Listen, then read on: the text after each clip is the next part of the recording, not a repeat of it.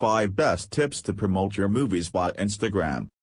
As we can see, filmmaking has come a long way over the years.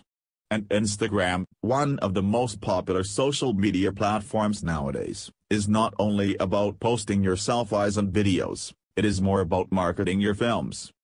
The experts say that Instagram is an apt digital platform to promote movies for directors, filmmakers, photographers, or any person working in the visual arts. That's why as a movie director, you need to learn more about curating your portfolio, creating an audience, attracting new businesses, and working in partnership on the web. So let me tell you about the top 5 tips to promote your movies via Instagram. First thing first, experimentation is the key.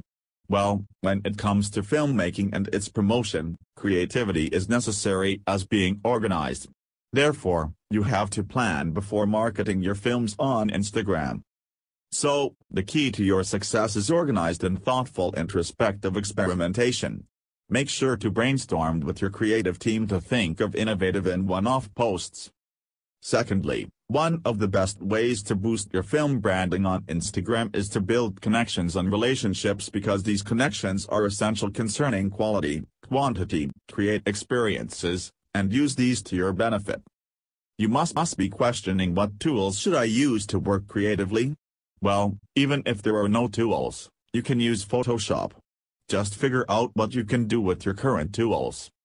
Lastly, use effective call to actions. Well, your goal is to divert the attention of your audience to your film's brand page on the photo sharing site.